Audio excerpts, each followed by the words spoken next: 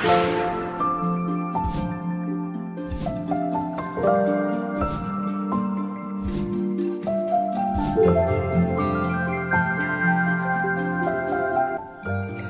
morning, sir. We are from KG2-D. Today we are going to show you magic with science. Water density experiment. We are going to check fact that the things having less density than density of water floats in it.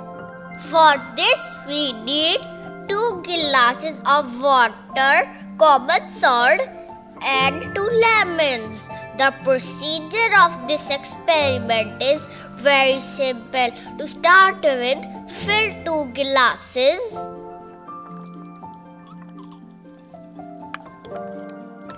with common tap water. Now I will take one lemon and put it in one of the glass and see what happened next. As we can see, lemon sinks in water. Now we will take some salt and put it another glass of water. By this, we will get salt solution. Mix it well so that salt mix in water completely. The salt solution is ready. This salt water is denser than the tap water. Now we will take another, another lemon and put it in a salt solution.